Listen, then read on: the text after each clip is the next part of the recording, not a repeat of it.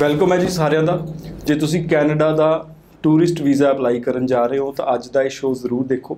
ਕਿਉਂਕਿ covering letter ਦੀ ਗੱਲ ਕਰਾਂਗੇ। ਕਵਰਿੰਗ ਲੈਟਰ ਕਿਸੇ ਵੀ ਟੂਰਿਸਟ ਵੀਜ਼ਾ ਵਿੱਚ ਬਹੁਤ ਹੀ ਇੰਪੋਰਟੈਂਟ ਇਨਫੈਕਟ ਸਭ ਤੋਂ ਇੰਪੋਰਟੈਂਟ ਡਾਕੂਮੈਂਟਸ ਦੇ ਵਿੱਚ ਕਾਊਂਟ ਹੁੰਦਾ ਕਿਸ ਤਰੀਕੇ ਨਾਲ ਇਹ ਅਸਰ ਪਾਉਂਦਾ ਤੁਹਾਡੀ ਫਾਈਲ ਦੇ ਉੱਤੇ ਗੱਲ ਕਰਾਂਗੇ ਤੇ ਵੈਲ ਪ੍ਰੀਪੇਅਰਡ ਇਹਨੂੰ ਕਿਸ ਤਰੀਕੇ ਨਾਲ ਕੀਤਾ ਜਾ ਸਕਦਾ ਇਹ ਵੀ ਸਮਝਣ ਦੀ ਕੋਸ਼ਿਸ਼ ਕਰਾਂਗੇ।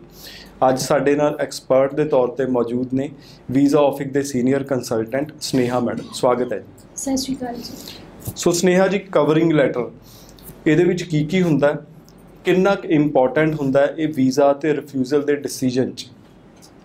ਸਰ ਦੇਖਿਏ ਕਵਰਿੰਗ ਲੈਟਰ ਸਭ ਤੋਂ ਇੰਪੋਰਟੈਂਟ ਡਾਕੂਮੈਂਟ ਹੈ ਬਿਕਾਜ਼ ਆਫੀਸਰ ਕੋ ਇੰਨਾ ਟਾਈਮ ਨਹੀਂ ਹੈ ਕਿ ਉਹ ਤੁਹਾਡਾ ਇੱਕ ਇੱਕ ਡਾਕੂਮੈਂਟ ਨੂੰ ਬਹੁਤ ਅੱਛੀ ਤਰ੍ਹਾਂ ਟੈਲੀ ਕਰੇ ਸੋ ਸਭ ਤੋਂ ਮੇਨ ਗੱਲ ਇਹ ਆ ਕਿ ਤੁਹਾਡੀ ਕਵਰਿੰਗ ਲੈਟਰ ਦੇ ਥਰੂ ਸਾਨੂੰ ਤੁਹਾਨੂੰ ਸਭ ਤੋਂ ਪਹਿਲੇ ਉਹਦੇ ਵਿੱਚ ਆਪਾਂ ਪਰਪਸ ਆਫ ਵਿਜ਼ਿਟ ਆਪਣਾ ਸ਼ੋ ਕਰਦੇ ਆ ਕਿ ਸਾਡਾ ਪਰਪਸ ਆਫ ਵਿਜ਼ਿਟ ਕੀ ਆ।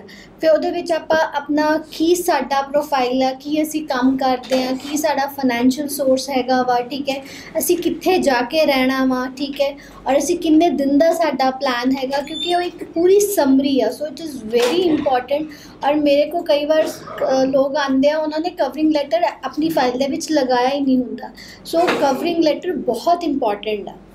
ਸੋ ਕਵਰਿੰਗ ਲੈਟਰ 'ਚ ਕਿਹੜੇ ਪੁਆਇੰਟ ਹੁੰਦੇ ਨੇ ਜੀ? ਮੈਂਸ਼ਨ ਕਰਨਾ ਜ਼ਰੂਰੀ ਆ। ਸਰ ਕਵਰਿੰਗ ਲੈਟਰ 'ਚ ਸਭ ਤੋਂ ਮੇਨ ਤੁਹਾਡਾ ਪਰਪਸ ਆਫ ਵਿਜ਼ਿਟ ਤੁਹਾਡੇ ਫਾਈਨੈਂਸ਼ੀਅਲ ਸਟੇਟਸ ਕੀ ਹੈ ਤੁਹਾਡਾ ਕੈਨੇਡਾ ਦੇ ਵਿੱਚ ਕੀ ਟਾਈ ਅਪ ਹੈਗਾ ਵਾ ਤੁਹਾਡਾ ਕੀ ਪਲਾਨਿੰਗ ਹੈਗੀ ਔਰ ਤੁਸੀਂ ਕਿਉਂ ਵਾਪਸ ਆਉਂਗੇ ਇਹ ਚਾਰ ਪੰਜ ਚੀਜ਼ਾਂ ਤਾਂ ਬਹੁਤ ਜ਼ਰੂਰੀ ਹੈ ਕਵਰ ਕਰਨੀ ਜ਼ਰੂਰੀ ਡਾਕੂਮੈਂਟਸ ਦੇ ਵਿੱਚ ਆਂਦਾ ਜਾਂ ਇਹ ਤੋਂ ਬਿਨਾਂ ਵੀ ਫਾਈਲ ਲੱਗ ਜਾਂਦੀ ਹੈ? ਸਰ ਦੇਖੋ ਫਾਈਲ ਹੁਣ ਤਾਂ ਵੈ- ਦੇਖੋ, ਪਹਿਲੇ ਮੈਨੂਅਲ ਫਾਈਲ ਜਾਂਦੀ ਸੀਗੀ, ਉਦੋਂ ਤੁਸੀਂ ਉਹਨੂੰ ਕਵਰਿੰਗ ਲੈਟਰ ਨਹੀਂ ਵੀ ਦਿੰਦੇ ਤਾਂ ਫਾਈਲ ਤਾਂ ਸਬਮਿਟ ਹੋ ਹੀ ਜਾਣੀ ਆ।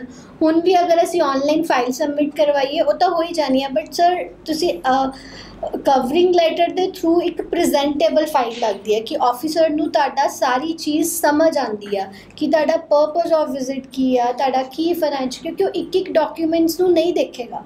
ਸੋ ਆਈ ਥਿੰਕ ਸੋ ਬਿਨਾ ਉਹ ਤੋਂ ਵੀਜ਼ਾ ਆਣਾ ਇੰਪੋਸੀਬਲ ਆ ਮੈਂ ਜਿੰਨੀਆਂ ਵੀ ਫਾਈਲਸ ਫੇਸ ਕੀਤੀਆਂ ਉਹ ਰਿਫਿਊਜ਼ਲ ਹੀ ਆ ਉਹਨਾਂ ਨੇ ਕਵਰਿੰਗ ਲਗਾਈ ਹੀ ਨਹੀਂ ਸੀ ਸੋ ਹਰ ਹਾਲ ਦੇ ਵਿੱਚ ਤੁਹਾਡਾ ਕਹਿਣ ਦਾ ਮਤਲਬ ਹੈ ਕਵਰਿੰਗ ਲੈਟਰ ਲੱਗਣੀ ਚਾਹੀਦੀ ਬਿਲਕੁਲ ਸਰ ਔਰ ਉਹ ਬਹੁਤ ਪ੍ਰੈਜ਼ੈਂਟੇਬਲ ਹੋਣੀ ਚਾਹੀਦੀ, ਬਹੁਤ ਲੈਂਥੀ ਵੀ ਨਹੀਂ ਹੋਣੀ ਚਾਹੀਦੀ। ਸਮ ਟਾਈਮਸ ਦੋ ਦੋ, ਤਿੰਨ ਤਿੰਨ ਪੇਜਾਂ ਦੀ ਹੁੰਦੀ ਆ, ਉਹ ਵੀ ਆਫੀਸਰ ਬੋਰ ਹੋ ਜਾਏਗਾ, ਠੀਕ ਹੈ? ਟੂ ਦੀ ਪੁਆਇੰਟ ਹੋਣੀ ਚਾਹੀਦੀ ਆ ਕਿ ਐਂਡ ਇਨ ਆਲ ਉਹਦਾ ਆਪਾਂ ਸਮਰੀ ਇਹ ਹੋਣੀ ਚਾਹੀਦੀ ਕਿ ਉਹਨੂੰ ਸਾਰੀ ਤੁਹਾਡੀ ਗੱਲ ਸਮਝ ਆਵੇ।